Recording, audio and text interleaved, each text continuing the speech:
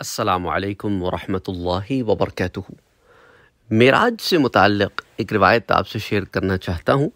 इसे इमाम हलबी ने रिवायत किया है मुसीर में कि हुजूर अकरम सल्लल्लाहु अलैहि वसल्लम हज़रत जब्राईल अलैहिस्सलाम के साथ सिदरतुल मुंतहा तक पहुँचे, लेकिन उस मुकाम पर आगे जाना था और हज़रत जब्राईल अलैहिस्सलाम सिदरतुल मुंतहा तक पहुँच कर रुक गए और हुजूर सल्लल्लाहु अलैहि वसल्लम से आगे बढ़ने को कहा।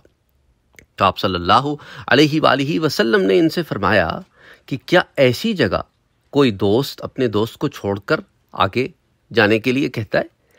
जिब्राइल सलाम ने कहा कि अगर मैं यहाँ से आगे बढ़ा तो जलकर राख हो जाऊँगा। इसके बाद हुजूर सल्लल्लाहु अलैहि वसल्लम ने उनसे कहा कि जिब्राइल, क्या तुम अपने रब से अपनी कुछ हाजत रवाई चाहते, यानी कुछ मांगना चाहते हो?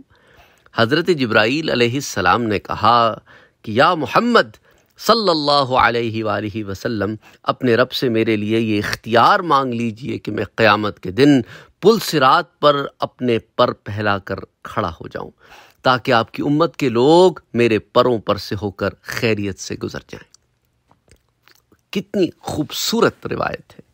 कितनी खूबसूरत रिवायत है कि हज़रत जब्राईल अलैहिस्सलाम भी उम्मत मोहम्मदी सल्लल्लाहु अलैहि वसल्लम से किस कदर मोहब्बत करते हैं। अच्छा आगे चलते हैं, फिर हुजूर सल्लल्लाहु अलैहि वसल्लम फरमाते हैं कि मुझे नूर के पर्दों में ले जाया गया और मैंने सत्तर हज़ार पर्दे पार किए। जिनमें से कोई भी पर्दा ऐसा नहीं था जिसकी कोई तशबीह दी जा सके।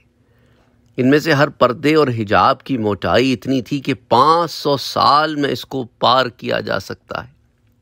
अब मुझे किसी फरिश्ते की मौजूदगी का एहसास नहीं रहा, जिसकी वजह से मुझे कुछ वहशत हुई। उसी वक्त मुझे अबू बकर सिद्दीक रदी अल्लाह तहु के बोलने की सी आवाज़ आई, जो ये कह रहे थे, ठहरिए, आपका रब नमाज़ पढ़ रहा है।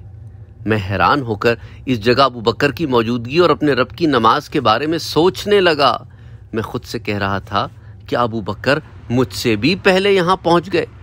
और मेरे रब की नमाज़ पढ़ने का मतलब क्या है? वो तो नमाज़ और इबादत से गनी है।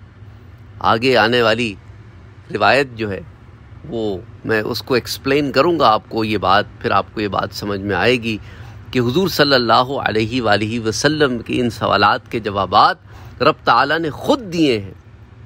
तो बहरहाल, हुजूर फरमाते हैं कि अभी मैं यही सोच रहा था कि अचानक ये आवाज़ बुलंद हुई कि करीब आइए, ए बेहतरीन मखलूक करीब आइए, ए अहमद।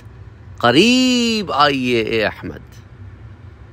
अच्छा अब इस रिवायत में जो मैंने आपसे ज़िक्र किया कि ये जो अल्फाज आए कि ठहरिए यहाँ से ले हज़रत अबू बकर सिद्दीक़ रज़ी अल्लाह तहु का ये कहना, उनकी आवाज़ में इस बात का हुजूर तक आना कि ठहरिए, आपका रब नमाज़ पढ़ रहा है और हुजूर की हैरानी। तो इससे मुतक़ हुजूर फरमाते हैं कि मैं अल्लाह अज्जा वजल की बारगाह में हाज़िर हुआ। अच्छा अब यहाँ पे दीदार इलाही हुआ या नहीं हुआ, इसके ऊपर बड़ी तफसील के साथ सीरतुलनबी सल्लल्लाहु अलैहि वसल्लम में तो हमने मुख्तसरा इस पर बात की थी, लेकिन मैंने मेराज से मुतक एक पूरी प्ले लिस्ट बनाई है। उसके अंदर मैंने आपके साथ दीदार इलाही से मुतक़ जो है वो तफसील ज़िक्र की है। और उसके अंदर जो लोगों के जहनों में इश्काल हैं और जो आ, वो लोग जो दीदार इलाही के कायल नहीं हैं उन्होंने जो दलाइल दिए हैं उनको सामने रखते हुए हमने वो दलाइल भी सामने रखे हैं कि दीदार इलाही हुआ है और उस पर क्या दलाइल हैं। तो आप वो प्लेलिस्ट विज़िट कर सकते हैं टू नो द डिटेल्स। हुजूर सल्लल्लाहु अलैहि वसल्लम फरमाते हैं कि यहाँ हक ताला ने मुझसे सवाल फरमाया तो मैं ज़ात बारी को जवाब देने की ताकत न पा सका। चुनाचे फिर अल्लाह सुबहानहु व तआला ने अपने दस्त कुदरत मेरे दोनों मूंढों के बीच में इस तरह रख दिए कि इसकी कोई कैफियत बयान नहीं की जा सकती। गर्ज आप फरमाते हैं कि इस दस्त कुदरत की ठंडक मुझे महसूस हुई और मुझ पर अव्वलीन और आखिरीन का हाल रोशन हो गया। और इसके नतीजे में मुझे मुख्तलिफ़ इल्म हासिल हो गए। इनमें कुछ इल्म वो हैं जिनको छुपाए रखने के लिए हक ताला ने मुझसे इकरार लिया, क्योंकि वो जानता है कि मेरे सिवा दूसरे लोग इस इल्म को बर्दाश्त करने की ताकत नहीं रखते। इसी तरह कुछ वो इल्म दिए जिनके बारे में दूसरों को बताने, ना बताने का मुझे इख्तियार दिया गया। कुछ वो इल्म दिया जिनको अपनी उम्मत के ख़ास और आम सब लोगों को पहुँचाने का हुक्म फरमाया। यहाँ ख़ास आम में इंसान भी हैं, जिन्नात भी हैं और इसी तरह फरिश्ते भी शामिल हैं। बहरहाल, इस तफसील से हमें क्या मालूम हुआ कि अल्लाह अज्जा वजल ने अपने प्यारे नबी सल्लल्लाहु अलैहि वसल्लम को तीन किस्म के ूम से नवाजा। अब बहुत सारे लोग जो है, यहाँ ये शिकाल करते हैं, वो ये समझते हैं अपने जहन से, जो कि गलत बात है कि नबी को जो जो इल्म दिया गया, वो नबी ने अपनी उम्मत को पहुँचा दिया। तो तुम कैसे कह सकते हो कि नबी को कुछ ऐसा भी इल्म था जो इख्तियारी था? कुछ ऐसा भी इल्म था जो नहीं बताया? और इसी को लेकर बाज़ लोग सूफिया के ऊपर तान और तंज और भी करते हैं। कैसा, कैसे हो सकता है कि सूफिया क्लेम करते हैं कि मौला अली करम वज़ू ने ये इल्म भी आगे दिया और ये इल्म भी आगे दिया? देखो, यहाँ पर उन तीनों बातों को समझा दिया गया है। एक वो इल्म है जो सबके लिए आम है, ख़ास के लिए भी है, और कुछ ये ऐसा इल्म है जो इख्तियारी है। जो इख्तियारी इल्म है वो हुजूर की मर्ज़ी जिसको चाहे दें और जिसको चाहे ना दें। और कुछ ऐसा भी इल्म है जो अल्लाह के नबी सल्लल्लाहु अलैहि वसल्लम ने उम्मत को दिया ही नहीं। और किसी पर उसका इजहार नहीं किया, क्योंकि वो इल्म है जो हुजूर सल्लल्लाहु अलैहि वसल्लम की ज़ात बाबरकत के अलावा कोई और इस इल्म को बर्दाश्त नहीं कर सकता, उसका मुतहमल नहीं हो सकता।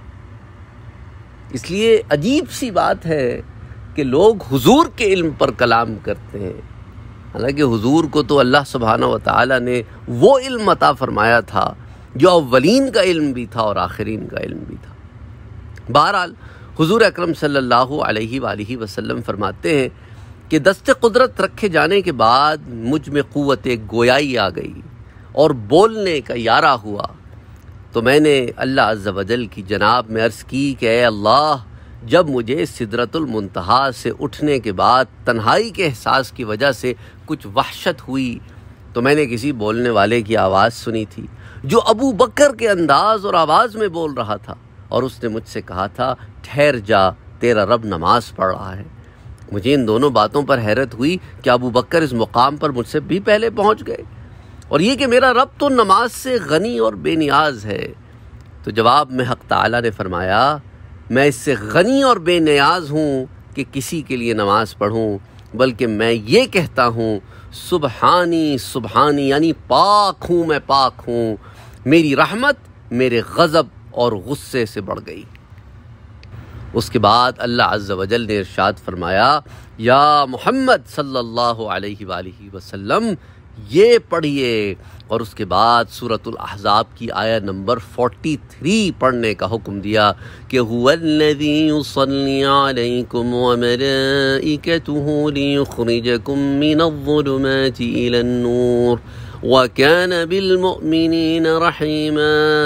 वही अल्लाह है जो तुम पर रहमत भेजता है। और उसके फरिश्ते तुम्हारे लिए दुआ करते हैं कि वो तुम्हें अंधेरों से उजाले की तरफ़ निकाले और वो मुसलमानों पर मेहरबान है। इसलिए मेरी नमाज़ का मतलब आप पर और आपकी उम्मत पर रहमत करना है।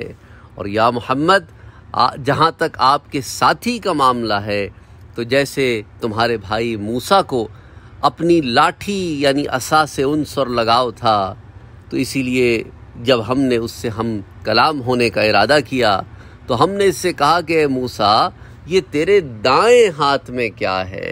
अल्लाह अकबर अल्लाह अकबर। अगर आपकी नज़र से सूरह ताहा की वो आयात गुज़री हों तो आपको ये बात पता होगी कि अल्लाह सुबहाना व ताली ने हज़रत मूसा सलाम से वादी मुक़दस तुआ में क्या कलाम फरमाया।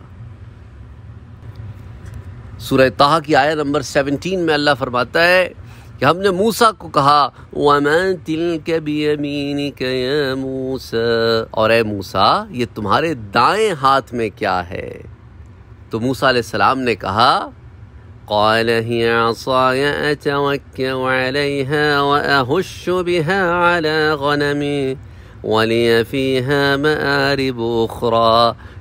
कि ये मेरा आसा है मैं इस पर तकिया लगाता हूँ, इससे अपनी बकरियों पर पत्ते झाड़ता हूँ और मेरी इसमें और भी कई ज़रूरतें हैं।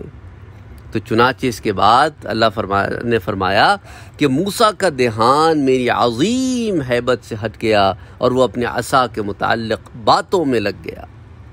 इसी तरह ए मोहम्मद क्योंकि तुम्हें अपने साथी अबू बकर से ख़ास मोहब्बत है। इसलिए हमने एक फ़रिश्ते को पैदा फरमाया, जिसको अबू बकर की आवाज़ दी और उस आवाज़ में उसने कलाम किया, ताकि अपने दोस्त की आवाज़ सुनकर आपकी वहशत दूर हो जाए, जो मेरी अजीम हैबत की वजह से आपको पैदा हो गई थी। तो इसी ज़मीन में हाफिज़ इबन कसीर भी फरमाते हैं कि जब नमाज़ की नस्बत ज़ात बारी ताला की तरफ़ की जाए, जैसा कि सूरतुल अहज़ाब की आया नंबर 56 में आता है, जिसे आप जानते भी हैं और बहुत ज़्यादा आपके इल्म में भी है और जुमे के खुतबात में भी इस आया मुबारक को बहुत ज़्यादा तिलावत किया जाता है। आप पहुँच गए होंगे जिस आया के बारे में मैं बात करने वाला हूँ कि इन नबी। बेशक अल्लाह और उसके फरिश्ते नबी पर दरूद भेजते हैं। और इसी तरह सूरतुल अहज़ाब की आया नंबर 43 में अल्लाह फरमाता है वल्लरी अलैकुम। वही अल्लाह है जो तुम पर रहमत भेजता है। तो यहाँ पर जो युसली का लफ्ज़ इस्तेमाल हुआ है तो हज़रत अल्लामा इबन कसीर फरमाते हैं कि वैसी सलात का लफ्ज़ तो नमाज़ के माना में होता है, लेकिन जब ये नमाज़ की नस्बत बारी ताला की तरफ़ की जाए तो इससे मुराद हक ताला का अपने फरिश्तों के सामने, अपने बंदे का ज़िक्र फरमाना होता है। और यही रहमत है, क्योंकि ज़ाहिर है हक ताला का अपने बंदे का ज़िक्र फरमाना सबसे अजीम रहमत व नमत है। उसके बाद हुजूर सल्लल्लाहु अलैहि वसल्लम फरमाते हैं कि फिर हक ताला ने मुझसे फरमाया, या मोहम्मद, जिब्राइल की हाजत या ज़रूरत क्या है? अल्लाह तो अल्लामुलगयूब है, लेकिन अपने प्यारे नबी की ज़बान से सुनना चाहता है। तो हुजूर ने फरमाया कि मैंने अर्ज़ किया कि अल्लाह तू ही ज़्यादा जानने वाला है।